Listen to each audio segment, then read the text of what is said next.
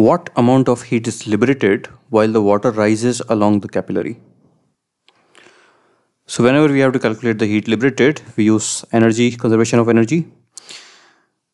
So by conservation of energy, work done by surface tension plus work done by gravity is equal to change in kinetic energy plus heat.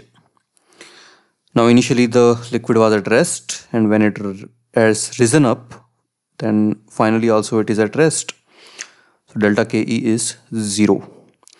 So heat is work done by surface tension plus work done by gravity. So work done by surface tension is of course F cos theta into H and work done by gravity is equal to mass of the column into H mg into H by 2 because center of mass of the liquid column is here. So minus mgh by 2 because work done by the gravity is negative.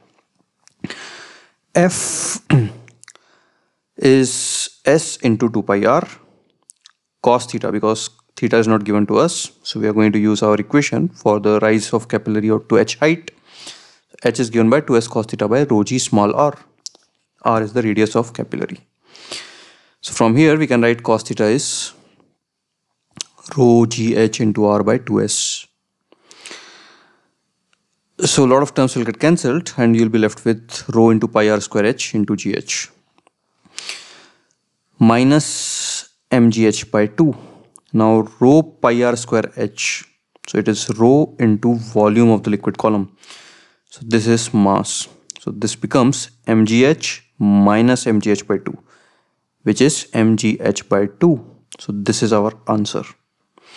So you can see this in magnitude is same as this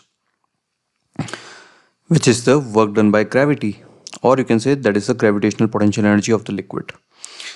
So that's what we have written here. Heat lost is equal to gravitational potential energy of liquid column. So this is a good way to remember it.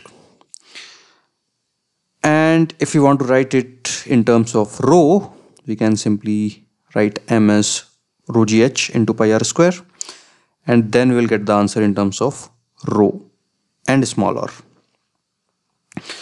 The other way of writing is we can eliminate h and r by using this equation. So hr we can write as 2s cos theta by rho g.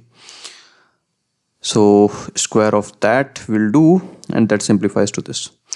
So all three are correct answers just different way of writing the same thing. So these are the heat lost. All right